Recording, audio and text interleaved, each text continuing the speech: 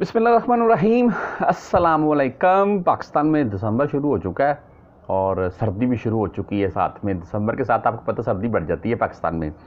बहरहाल जी, मैं बात करूँगा मनी लॉन्ड्रिंग के मतलब सऊदी अरेबिया से। इसमें जो अभी ये बंदे पकड़े गए हैं, वो भी आपको साथ में दिखा देता हूँ मैं। पाकिस्तानी भी इनमें शामिल हैं जी। और इसके अलावा जो फ़ाइन वगैरह और जेल वगैरह इनके ऊपर हुई है, उससे भी आपको अपडेट कर देता हूँ। एक चीज़ वाजह करूँगा मैं, जो बंदे हॉन्डी के थ्रू रियाल भेजते हैं उनके लिए, ठीक है? मनी लॉन्ड्रिंग में कुछ भी आ सकता है। आप वहाँ से कोई भी ऐसी चीज़ें जो कि आप बोल रहे हैं कि गैर कानूनी तरीके से उनको अगर कार्गो करने की कोशिश करते हैं, उनको वहाँ से निकालने की कोशिश करते हैं, अगर आप ये जो रियाल वगैरह हैं, जो हॉन्डी के थ्रू बंदे पैसे भेजते हैं जो बंदे उनसे यानी कि लेकर पाकिस्तान में ट्रांसफ़र करते हैं वो भी मनी लॉन्ड्रिंग के ज़ुमरे में आते हैं। अभी इनके ऊपर जो जुर्माना हो चुका है, उससे भी आपको अपडेट कर देता हूँ। और जो भाई, पहले आपके मतलब बता दूँ, जो हॉन्डी वगैरह के थ्रू पैसे भेजते हैं जी अक्सर ऐसे होता है, मैंने बनी माल्क में आपको पता लास्ट छः माह थे मेरे बनी माल्क में ही गुजरे हैं तो मैंने वहाँ से आपके साथ बहुत सी वीडियो लाइव शेयर की।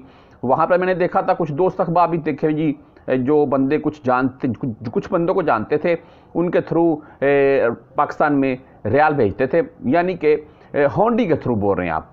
तो वो एक तो आपको इस वक्त रेट अगर चल रहा है ना उनासठ, आपको वो पचपन, छप्पन देंगे। एक तो तीन, चार रुपए कम देंगे रेट से। और दूसरा वो रिस्क अक्सर बंदे वो भेजते जिनके कामे वगैरह एक्सपायर हो या कोई और मसला हो। तो आप किसी यार दोस्त अखबार को बोल दें, वही बेस्ट है, मैं तो यही बोलूँगा। इस सूरत में आप भी इसी ज़ुमरे में आएँगे, सुन लें। अभी ये जो पाँच बंदों का ग्रोह गिरफ़्तार हुआ है, इनमें दो पाकिस्तानी शामिल हैं। जी, ये भी आपको क्लियर कर दूँ। अभी इनके ऊपर जो फाइन इनको हो चुका है, वो तो सुन लें। अठारह माह की कैद, यानी कि डेढ़ साल की कैद हुई है इनको, और साथ में पाँच लाख रियाल पर पर्सन के हिसाब से जुर्माना है जी। यानी कि हर बंदे के ऊपर पाँच लाख रियाल का जुर्माना है, और अठारह माह की हर बंदे को कैद हुई है। ये तो ये तो अपनी जो इनकी सज़ा थी, इनको हो चुकी है।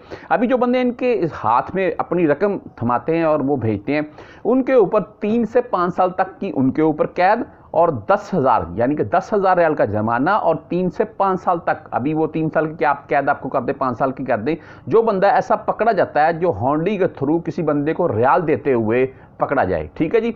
और, अगर वो बंदा पकड़ा जाए, उस सूरत में आपके भाई रियाल भी डूब जाएँगे और आपको साथ में जुर्माना और जेल जेल भी हो जाएगी। तो बेहतर यही है, लीगल तरीके से रियाल भेज लें। किसी दोस्त को बोल रहे हैं, यार, या अपने पास जमा रख लें। आठ, दस हज़ार, पंद्रह हज़ार, बीस हज़ार आपके पास जमा भी है तो आप साथ लेकर आ सकते हैं, जब आपने वापस आना है, वो कोई मसला नहीं है।